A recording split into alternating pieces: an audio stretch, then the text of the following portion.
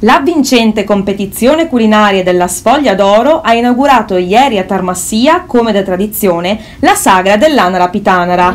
Dieci concorrenti si sono destreggiati con uova, farina e mattarelli per tirare la sfoglia e preparare così le fettuccine da accompagnare con il sugo d'anatra, piatto principe della manifestazione. Il sesto concorso della Sfoglia d'Oro, una sfida a colpi di mattarello dove dieci concorrenti eh, si sfideranno proprio a colpi di mattarello per tirare la nostra sfoglia che eh, sarebbe anche il piatto principe della nostra manifestazione nonché le fettuccine con l'anatra.